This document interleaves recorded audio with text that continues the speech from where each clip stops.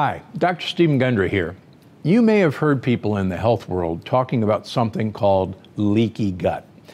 It's a very hot topic right now, but there seems to be some confusion about what it is. So, let me clear things up right now by showing you exactly what leaky gut is, how it happens, and how to prevent it. You see, when you eat food, it goes down to your stomach to get broken down. This process unlocks the nutrients in the food.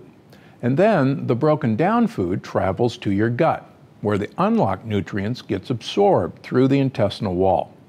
But there's other stuff in the food that shouldn't get absorbed, such as pathogens, contaminants, and other bad stuff you don't want in your body. This is where your gut lining comes in. Also known as your intestinal epithelium, this lining acts as a filter, letting good stuff through and keeping bad stuff out. But when your gut lining gets weak, which happens on many modern diets, little holes start forming in the lining and bad stuff gets through. Kind of like this. Here's the lining of your gut. And there's leaky gut. So, this is actually what's happening in your gut. And this condition is called leaky gut for a very good reason. Now, the stuff that makes it through these holes triggers a cascade of unhealthy immune activity in your body.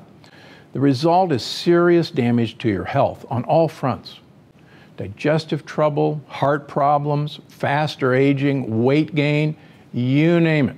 Countless health conditions can be traced back to leaky gut. So, how do you prevent it? Well, what modern diets are often missing is a special kind of fiber known as prebiotic fiber. Dietary sources of prebiotic fiber include Jerusalem artichokes, tiger nuts, Belgian endive, chicory, parsnips, and a lot of others.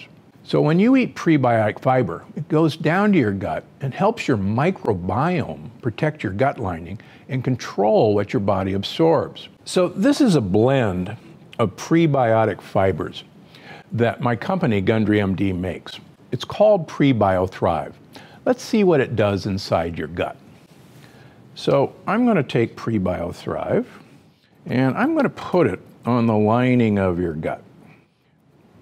Okay, now that the gut has prebiotic fiber, let's do the leak test again. And again, this is real PreBioThrive. Here comes Oh my gosh, look at that. Absolutely no leak. The truth is, prebiotic fiber does more than just plug the holes. It feeds friendly bacteria in your gut, your microbiome. These bacteria then use the fiber to make butyrate, which nourishes and strengthens your gut lining. Strong gut lining means no more leaky gut.